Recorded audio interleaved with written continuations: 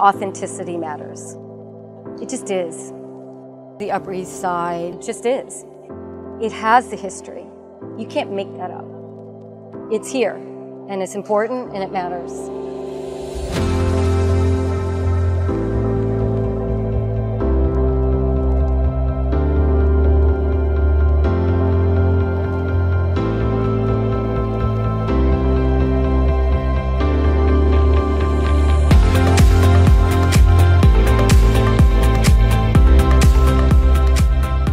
Up here because of the restaurants, because of the low density, because of the accessibility to 95. I can get anywhere. Uh, do I need to be downtown? Do I need to be uptown? Do I need to go to the beach? What's important to, I think, all the residents here is, is that it is a neighborhood.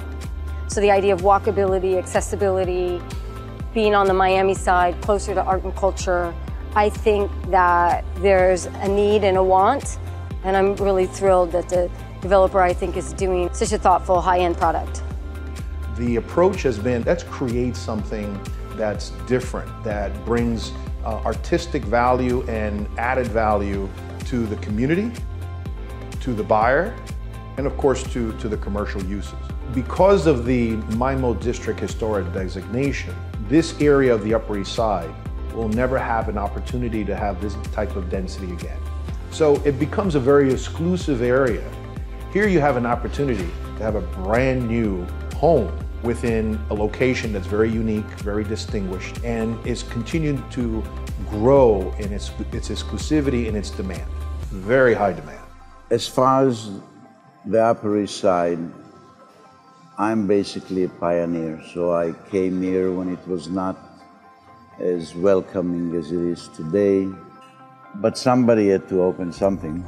So I decided to open the Soyka restaurant.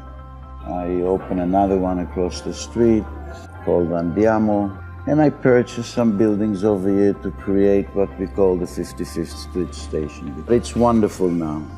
And if you are a city boy or people that like to live in the city rather than far out suburbia, this is neither suburbia, but it's a very peaceful city. The nice thing about the Upper East Side is there are a lot of families. There's a very good school here called Cushman, and it is actually a neighbor to the project. Uh, There's also Country Day down the block.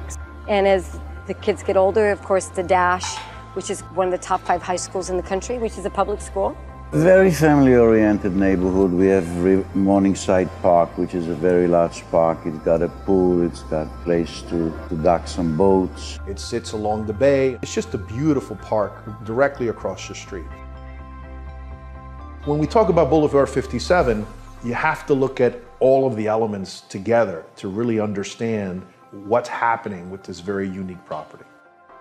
We felt years ago that if an apartment could be more like a home, a single family home on the ground, the closer you can get an apartment to that, the better it's going to be livability wise, culturally.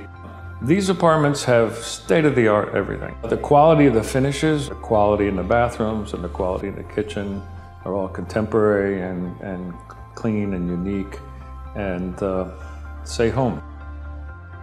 The location demands retail at the base because that's what's been classical to Biscayne Boulevard.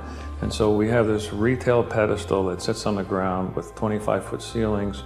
A nucleus of various shops and cafes that'll bring it all together. And on top of the base, we have this enormous pool deck with cabanas. Now, people would think, well, cabanas are on the beach.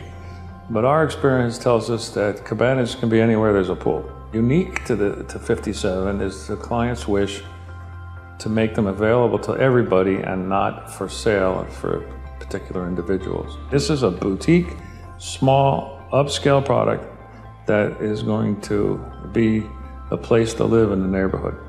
The soul of the Upper East Side, I think, is, is evolving.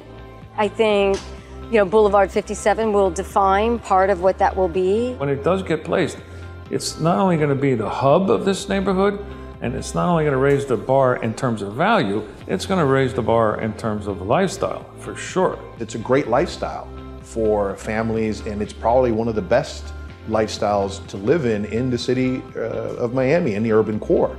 We're going to see more food and beverage on the boulevard. You're going to see more retail. It's friendly to everybody, and it's really, really a great community. We are truly in a, in a transformation time for the Upper East Side.